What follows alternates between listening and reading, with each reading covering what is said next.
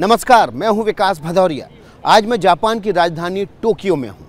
आज मैं आपको जापान की उन खूबियों और कमज़ोरियों के बारे में बताऊँगा, जिसकी वजह से जापान दुनिया की तीसरी सबसे बड़ी आर्थिक महाशक्ति बना हुआ है। दरअसल, जापान एक देश नहीं, एक सोच है। बार बार टूटकर बिखरने के बावजूद फिर से खड़े होने की अदम्य शक्ति ही जापान को अलग बनाती है। आज दुनिया का हर बड़ा देश आर्थिक संकट के दौर से गुजर रहा है। ऐसे में जापान क्या कर रहा है, आज मैं ये आपको बताऊँगा।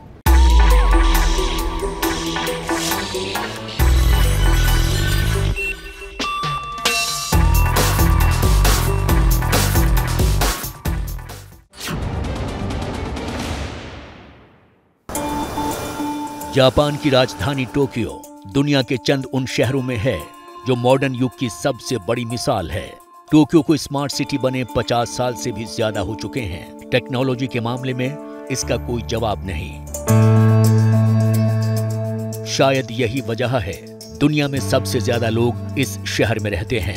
टोक्यो की आबादी करीब पौने चार करोड़ है। जापान की सफलता की एक बड़ी मिसाल है, टोक्यो। लेकिन इस वक्त टोक्यो समेत पूरी जापानी अर्थव्यवस्था के सामने एक बड़ी चुनौती है। वो चुनौती है, पूरी दुनिया में आए आर्थिक संकट से खुद को बचा कर रखने की। जापान इस मौजूदा संकट से कैसे निपट रहा है ये जानने के लिए एबीपी न्यूज़ संवाददाता विकास भदौरिया ने ग्राउंड ज़ीरो पर जाकर हालात समझने की कोशिश की है। टिकट ले लिया बुलेट ट्रेन का उस बुलेट ट्रेन की सवारी के लिए।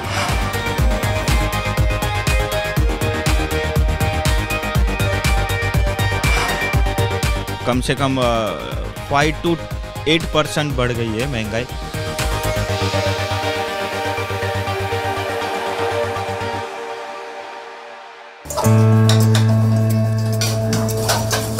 टोक्यो में जापान की आर्थिक हालत का पता लगाने के लिए विकास भदौरिया भारतीय मूल के एक रेस्टोरेंट मालिक राजेंद्र कुमार जैन के पास पहुँचे। राजेंद्र कुमार जैन करीब 25 साल पहले जापान आए थे और अब ये रेस्टोरेंट चलाते हैं। भारत में ये राजस्थान के हाड़ूती के रहने वाले हैं। जापान में राजस्थानी खाने की अगर किसी की इच्छा होती है तो सबसे पहले हर कोई यहीं आता है। राजेंद्र का कहना है कि जापान ने इन्हें वो सब कुछ दिया है, जो ये चाहते थे। लेकिन अब आर्थिक हालात थोड़े बदल रहे हैं। खासतौर पर बिज़नेस चलाने वालों पर अब थोड़ा दबाव है। जनता आवाम है, उनकी एक आवाज़ है कि हमारी तनख्वाहें बढ़ाइए आप। तो अब यहाँ काले झंडे वाले और इस तरह के तो नहीं है, फिर भी जो कई बड़ी बड़ी ऑर्गेनाइजेशंस हैं, वो बड़ा प्रेशर दे रही हैं सरकार पर। जी हाँ बड़ा ज़ोर दे रही हैं कि हमारी तनख्वाहें बढ़ाइए रूस और यूक्रेन के युद्ध की वजह से तमाम देश डीजल और पेट्रोल की बढ़ती कीमतों से परेशान। जापान की सरकार भी इस वजह से बढ़ती कीमतों की वजह से परेशान। लेकिन जापान की सरकार ने तेल के बढ़े दामों का बोझ आम लोगों पर नहीं पड़ने दिया है।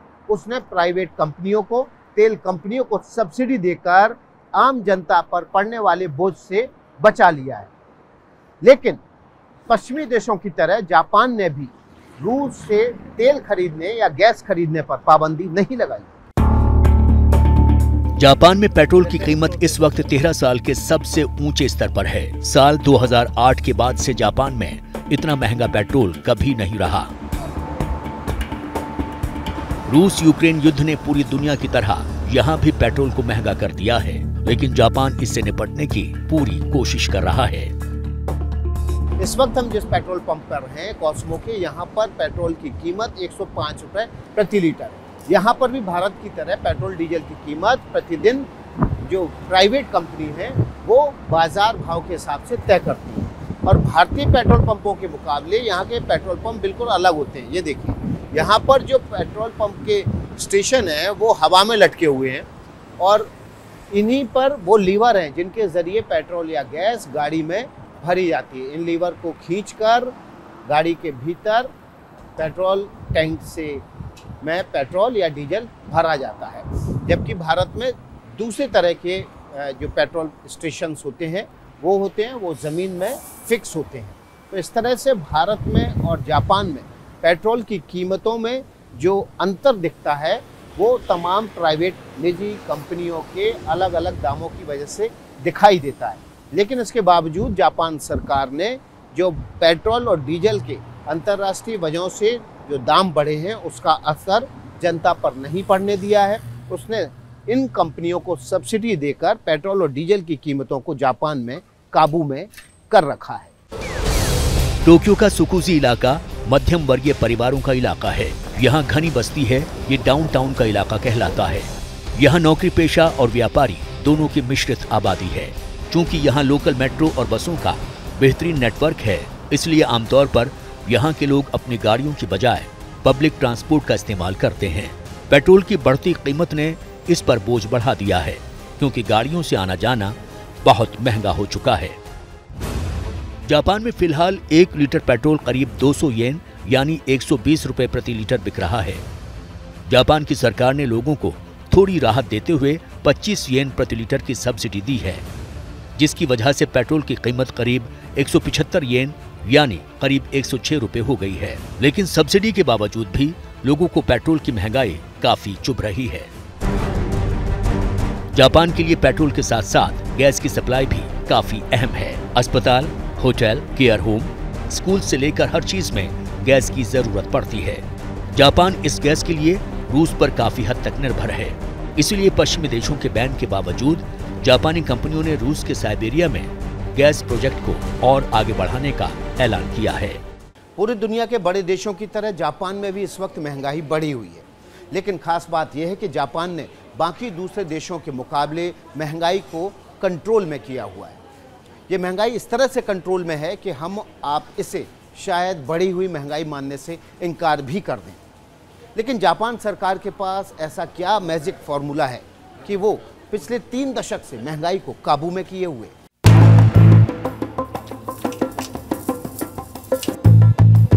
ये है निकुंज पंडिया। मुंबई से करीब छह साल पहले ये जापान आए थे। इन्होंने पाँच साल तक नौकरी करने के बाद पिछले साल ही यहाँ खुद का हीरे जवाहरात का बिज़नेस शुरू किया है। ये अपने घर की जरूरतों के लिए रोज़मर्रा की शॉपिंग खुद ही करना पसंद करते हैं। निकुंज के मुताबिक, पिछले कुछ समय में टोक्यो में खाने पीने से लेकर हर सामान थोड़ा महँगा हुआ है। महँगाई तो सर बढ़ गई है, जो हम पहले लेते थे मतलब दो साल के पहले लेते थे तो कम से कम फाइव टू एट परसेंट बढ़ गई है महँगाई। सब्ज़ी के देखो, पहले अभी हंड्रेड यन का मिलता था फाइव सिक्स भिंडी आती थी। पर अभी वो देखने जाए तो डेढ़ सौ यन हो गए मतलब वन फिफ्टी यन के करीब हो गए। सो मुझे तो थोड़ा एक्सपेंसिव लग रहा है। जापान में पहले के मुकाबले भले ही महँगाई बढ़ी है, लेकिन फिर भी दुनिया के सभी बड़े देशों की तुलना में यहाँ महँगाई दर थोड़ी कम बढ़ी है। जापान में अप्रैल में खुदरा महँगाई दर दो दशमलव एक फ़ीसद थी। ये पिछले सात साल में सबसे ऊँची दर है। अगर जापान की ताज़ा महँगाई दर की तुलना दूसरे देशों से करें तो ये काफ़ी कम दिखती है। जापान की दो दशमलव एक प्रतिशत की महँगाई दर के मुकाबले जर्मनी में अप्रैल में महँगाई दर सात दशमलव चार प्रतिशत, भारत में सात दशमलव सात नौ प्रतिशत और अमेरिका में ये आठ दशमलव तीन प्रतिशत थी। जापान करीब तीन दशक से महँगाई दर को किसी भी हालत में दो फ़ीसद से नीचे रखने में कामयाब रहा है। ये उनकी मज़बूत अर्थव्यवस्था की बहुत बड़ी खूबी रही है। क्या आपको पता है कि 1960 के दशक से 2010 तक जापान दुनिया की दूसरी सबसे बड़ी अर्थव्यवस्था थी। उसके आगे सिर्फ़ अमेरिका था। लेकिन पिछले एक दशक में चीन ने जापान को पीछे पछाड़ते हुए दूसरा स्थान हासिल कर लिया है। अब जापान उस जगह पर है जहाँ भारत पहुँचना चाहता है। फ़िलहाल जापान की जो अर्थव्यवस्था है, वो पाँच ट्रिलियन डॉलर की है। टोक्यो में रहने वाले नितिन हिंगरा जापान के उन लोगों में हैं, जिन्होंने यहाँ की अर्थव्यवस्था को बदलते हुए बड़े करीब से देखा है। इन्हें जापान आए हुए करीब 22 साल हो गए हैं। जब ये जापान आए थे, तब यहाँ भारतीय खाना मिलना तो दूर की बात, इक्के दुख के भारतीय दिखना भी बड़ी बात थी। बस इसी कमी की वजह से इन्होंने अंबिका नाम का किराना स्टोर शुरू किया। आज पूरे जापान में इनके किराना स्टोर की चेन है। गवर्नमेंट ने काफ़ी सपोर्ट दिया है रेस्टोरेंट को और उनको तो उसके हिसाब से अभी तक बराबर चल रहे हैं। पर अभी मेन टाइम ये देखना है कि अगले छः महीने में, अभी जैपनीज गवर्नमेंट का कोई सपोर्ट नहीं है, अगले छः महीने में कैसे सर्वाइव कर पाएँगे? तो अभी तक इतना इफ़ेक्ट नहीं दिख रहा है, क्योंकि हेल्प बहुत मिली गवर्नमेंट की। आने वाले छः महीने के अंदर मेरे को ऐसा लगता है कि बहुत सी कंपनियाँ फाइनेंशियल प्रॉब्लम अभी आएगी, ऐसा बैंक वाले भी बताते हैं जापान दुनिया के उन देशों में है जो दूसरे विश्व युद्ध के बाद तहस नहस हो गया था। अमेरिका ने जापान के हिरोशिमा और नागासाकी पर परमाणु बम गिरा दिया था, जिसकी वजह से वहाँ भारी तबाही हुई। इसका असर उनकी अर्थव्यवस्था पर भी पड़ा, लेकिन जापानी लोगों ने इच्छा शक्ति के दम पर अपना देश फिर से खड़ा कर लिया। इस वक्त अमेरिका की 20 ट्रिलियन डॉलर और चीन की 14 ट्रिलियन डॉलर की अर्थव्यवस्था के बाद जापान 5 ट्रिलियन डॉलर के साथ तीसरे नंबर पर है। इसके बाद जर्मनी 3.5 ट्रिलियन के साथ चौथे नंबर पर और भारत हाल ही में 3 ट्रिलियन तक पहुँचने के बाद पाँचवें नंबर पर है। जापान इस वक्त भारत के लिए बेहद खास है। दरअसल, जापान की मदद से भारत में बुलेट ट्रेन तैयार की जा रही है। जापान उन देशों में से एक है जिसने सबसे पहले तेज रफ्तार और तेज गति से चलने वाली ट्रेनों की अहमियत को समझा है। आज मैंने भी बुलेट ट्रेन की जापान की प्रगति में क्या योगदान है, क्या अहमियत है, ये जानने के लिए इसी बुलेट ट्रेन में सफ़र किया है। बुलेट ट्रेन का मतलब है तेज गति से चलना। समय की बचत करना, समय की बचत करेंगे, तभी आप उतने ही समय में ज़्यादा काम कर पाएँगे। ज़्यादा काम करेंगे तो अर्थव्यवस्था पर इसका अच्छा असर पड़ेगा। जापानी इस बात को अच्छी तरह समझते हैं, वक्त की कीमत समझते हैं। इसीलिए जापान की बुलेट ट्रेन का नेटवर्क बनाया गया है। भारत में भी जापान की मदद से ही बुलेट ट्रेन बनाई जा रही है।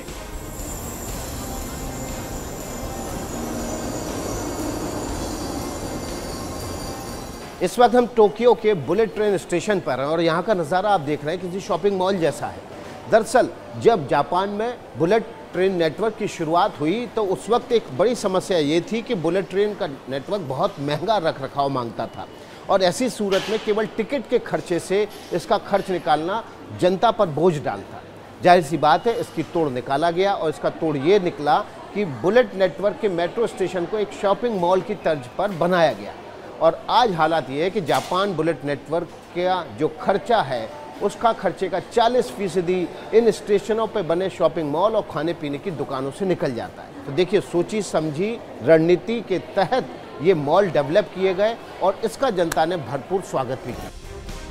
जापान की बुलेट ट्रेन में विकास भदौरिया ने टोक्यो में रहने वाले सुभाष श्रीवास्तव के साथ सफ़र किया। सुभाष कई सालों से जापान में रहते हैं और वहाँ की अर्थव्यवस्था को बड़ी अच्छी तरह समझते हैं। सुभाष ने बुलेट ट्रेन की अहमियत को बड़ी गहराई से समझाया।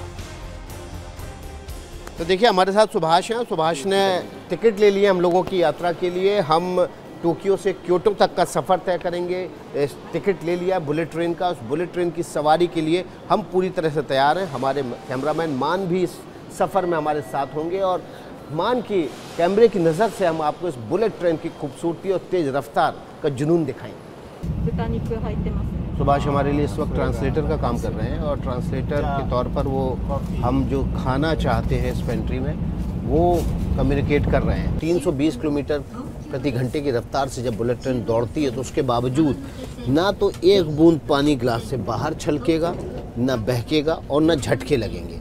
इस ग्लास को देखकर आप अंदाज़ा लगा सकते हैं कि ये तकनीक कितनी उन्नत है कि आप इस ट्रेन में आरामदायक सफ़र कर सकते हैं। जब ग्लास से पानी नहीं छलक रहा तो फिर आपकी देह पर क्या असर पड़ेगा? बुलेट ट्रेन में सुविधाएँ क्या क्या हैं? देखिए, अगर आप अपना लगेज लेके आए ना तो यहाँ पर आप देखिए ये यहाँ पर लगेज केस बने हुए हैं और यहाँ बाकायदा आप अपना लगेज रखने के बाद लॉक कर सकते हैं। और इसको लॉक करके अपने लगेज को आप सिक्योर कर सकते हैं। यहाँ तीन अलग अलग स्टोरेज हैं जो यहाँ पर बने हुए हैं। जापान के टोक्यो से क्योटो तक का सफ़र हमारा पूरा हुआ। हमने बुलेट ट्रेन अब छोड़ दी है लेकिन इस बुलेट ट्रेन के ज़रिए हमने आपको दिखाया कि कैसे जब ये बुलेट ट्रेन का सपना भारत की ज़मीन पर उतरेगा तो किस तरह से आपकी यात्रा बदल जाएगी? अगर हम अपने बचपन को याद करें तो देखेंगे कि हमारे घर के आसपास टीवी सेट, रेडियो सब मेड इन जापान हुआ करते थे। लेकिन धीरे धीरे जापान ने ये बादशाहत खो दी। अब इस क्षेत्र में अमेरिकी, चीनी और कोरियाई कंपनियाँ बादशाहत जमा चुकी हैं, बहुत आगे निकल चुकी हैं। इसकी वजह क्या है? ये है अकीहाबारा मार्केट, जापान का इलेक्ट्रॉनिक हब। यहाँ भी अब मेड इन चाइना वाला सामान हावी हो रहा है। एक समय में जापान इलेक्ट्रिक और इलेक्ट्रॉनिक सामान का सबसे बड़ा निर्यातक देश था। लेकिन चीन, अमेरिका और कोरिया ने इसके प्रभुत्व को तोड़ दिया। इसकी सबसे बड़ी वजह है बढ़ती लेबर कॉस्ट और डॉलर के मुकाबले ये इनका मज़बूत होना। तकनीक में बेहतर होने के बावजूद पिछले कुछ सालों में जापान के इलेक्ट्रॉनिक गुड्स का एक्सपोर्ट पहले के मुकाबले काफ़ी घट गया है। एक्सपोर्ट घटने का सीधा असर जापान की अर्थव्यवस्था पर पड़ा है। जापान में बुज़ुर्गों की संख्या में लगातार बढ़ोतरी भी एक बड़ी चिंता है। जापानी सरकार को डर है कि आने वाले समय में उनकी वर्कफोर्स में बड़ी कमी आ सकती है। इस वक्त जापान में पैंसठ साल से ज़्यादा उम्र वाले नागरिकों की संख्या रिकॉर्ड 27 फ़ीसद को छू गई है। 2050 में ये 40 फ़ीसद तक पहुँच जाएगी। मैंने आज आपको बताया कि जापान में अर्थव्यवस्था की क्या हालत है। एबीपी न्यूज़ के कुछ और रिपोर्टर्स दुनिया के अलग अलग देशों में मौजूद हैं। हमारी कोशिश है कि आपको उन देशों के आर्थिक हालात की ग्राउंड रिपोर्ट दें। दुनिया के अलग अलग हिस्सों में आर्थिक हालात किस तरह से करवट ले रहे हैं, ये जानना आपका हक है। और एबीपी न्यूज़ इस रिपोर्ट को आप तक पहुंचाता रहेगा। देखते रहिए एबीपी न्यूज़ नमस्कार।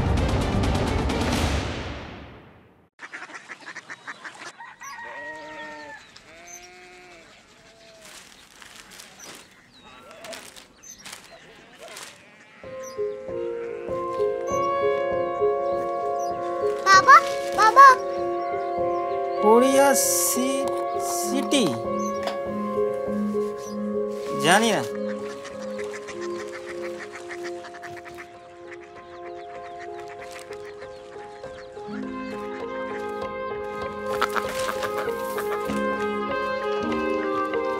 Korea city? अ,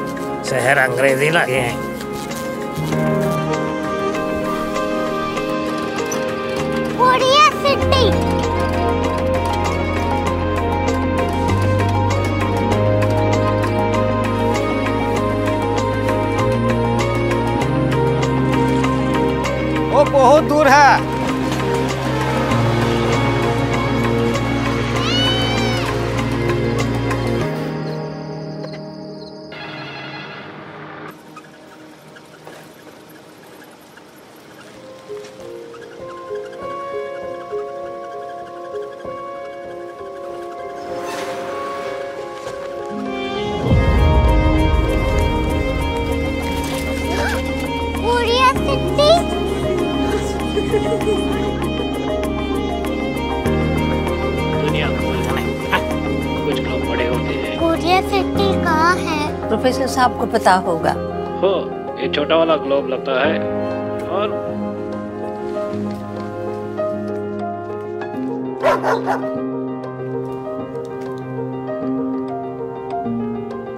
पता नहीं मेरी बेटी से जाके मिल लो शायद उसे मालूम हो।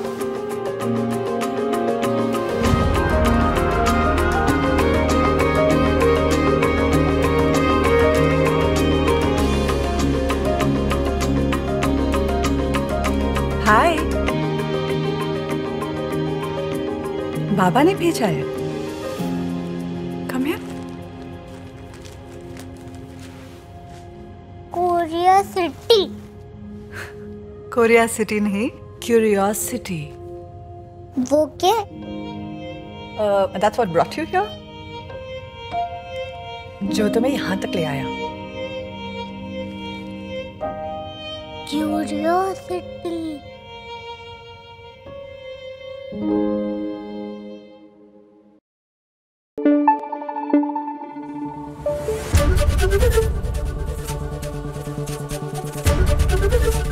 एबीपी न्यूज़ आपको रखे आगे।